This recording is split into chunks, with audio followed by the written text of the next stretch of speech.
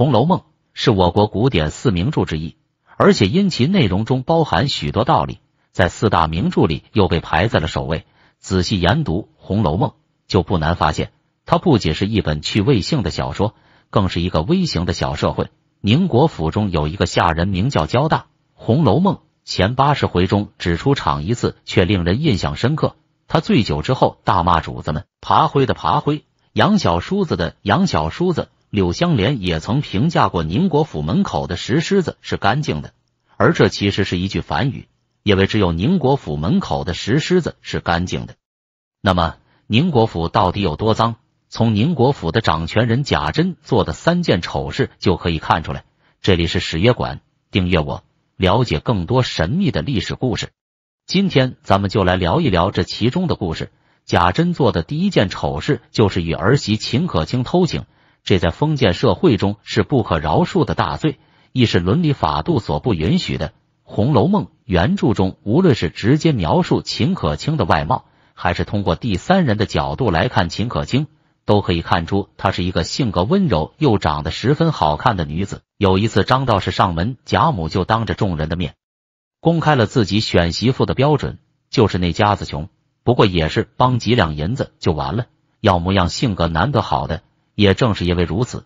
出身不高的秦可卿，凭借自己的模样和性格，嫁给了贾珍的儿子贾蓉。《红楼梦》中对于贾珍与儿媳偷情，他没有直接讲出来，但是从一些事情中却可以看出来。比如贾珍在秦可卿葬礼上的表现，已经远远超出了一个公公对儿媳妇正常的关心范畴。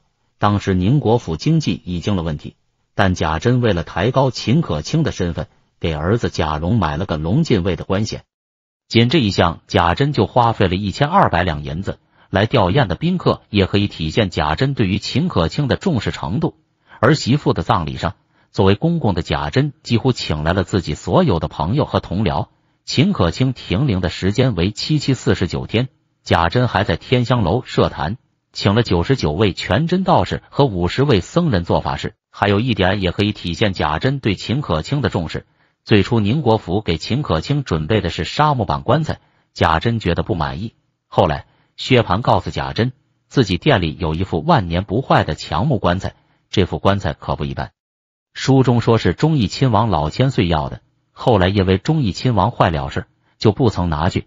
贾珍迫不及待的让人把棺材抬了过来，看到棺材之后，贾珍非常满意。这个时候，贾政劝道：“此物恐非常人可想。”列以上等棺木也就是了。很明显，就连荣国府的人都觉得秦可卿的葬礼已经超出规格，但贾珍依然我行我素。这些细节可以看出，贾珍对于秦可卿的感情并不单纯。秦可卿去世之后，贾珍痛哭流涕的反应比秦可卿的丈夫贾蓉还要激烈。想必贾珍对于秦可卿也是有几分真感情的，只是这样一份感情为世人所不认同。毕竟公公和儿媳妇偷情。无论什么时候都是见不得人的丑闻。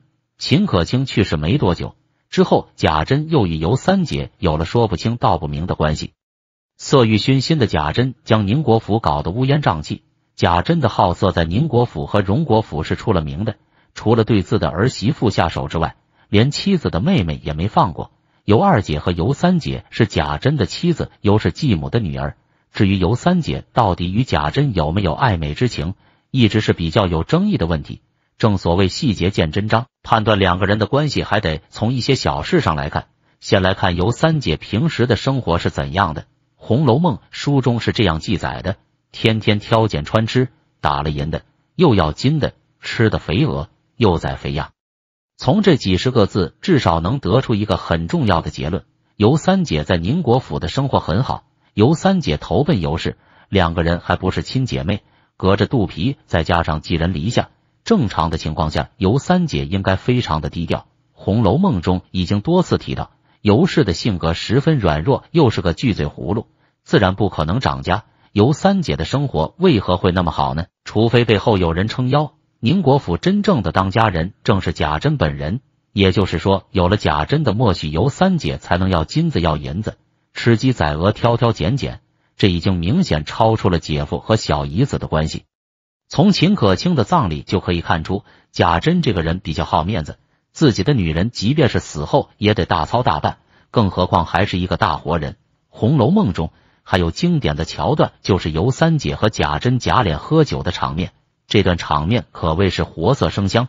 原著中是这么写的：尤三姐松松挽着头发，大红袄子半掩半开。古代女子无论什么样的出身背景，都十分重规矩，尤其是在男性面前，否则就会被认为是不懂道德的女子。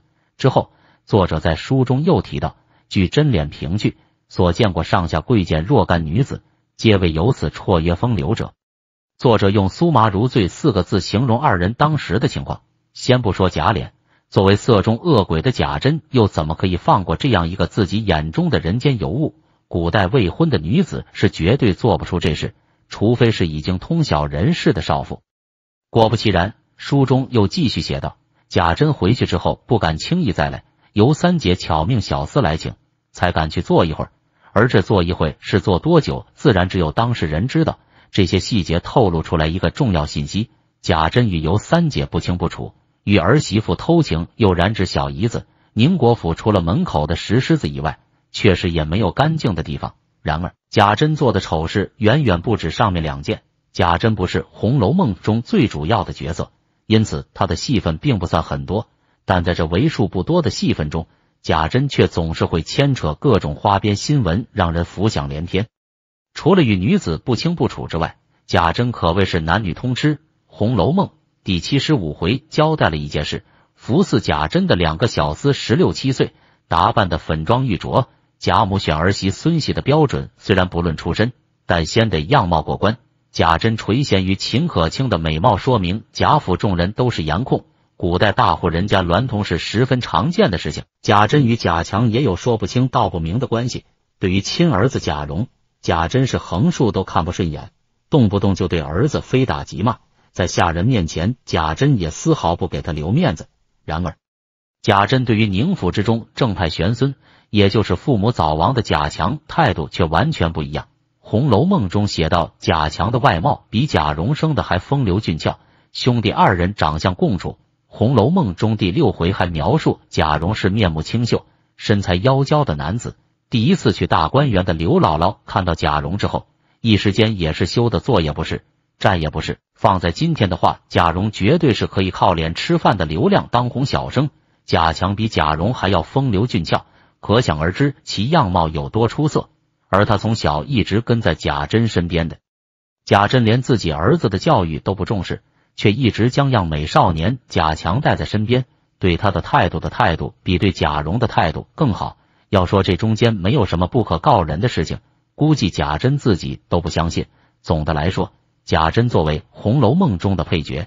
他做的这三件丑事，足以证明宁国府比外人想象的还要脏。这也从侧面反映出宁国府衰落的原因，就是因为子孙不争气，不将心思都放在正事上，娈童、赌钱、乱搞男女关系，最终宁国府被抄家，也算是咎由自取。